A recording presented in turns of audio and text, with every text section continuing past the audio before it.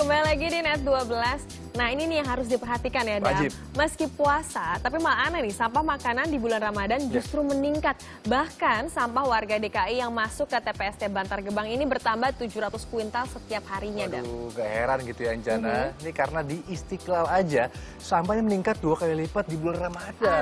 Aduh, nah mungkin ya Dam, ini Ya. bisa mencontoh salah satu masjid yang menerapkan green iftar nih untuk untuk bisa mengurangi sampah. Kita lihat yuk.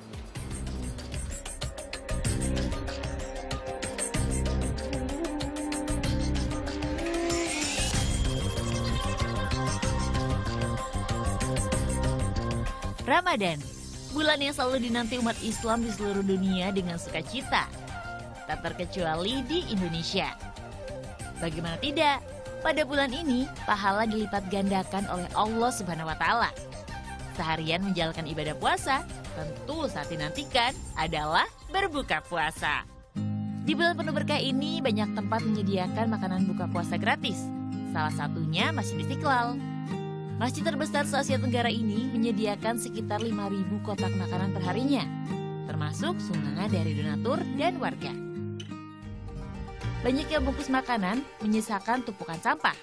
Volume sampah Masjid Istiqlal di bulan Ramadan perharinya mencapai 1 ton atau bertambah sekitar 50% dari bulan-bulan biasa. Tapi sayang, banyak pengunjung masjid yang kurang sadar untuk membuang sampah pada tempatnya. Padahal tempat sampah banyak tersedia di setiap sudut masjid.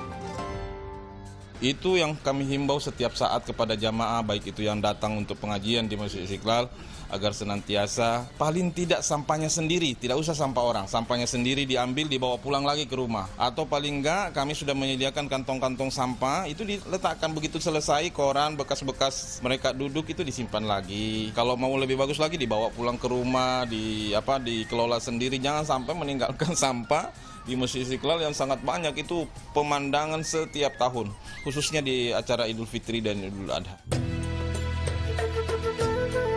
Ke depannya, masjid yang mampu menampung 200 ribu jemaah ini berencana mengganti kotak makanan yang biasa digunakan dengan bahan ramah lingkungan. Sehingga volume sampah yang tinggi tidak terlalu mencemari lingkungan.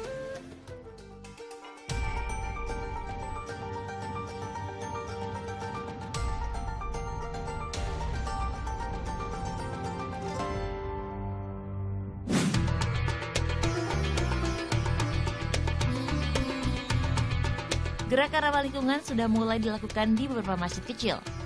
Seperti di Masjid Burj Al Bakri yang ada di basement Bakri Tower, Kuningan, Jakarta.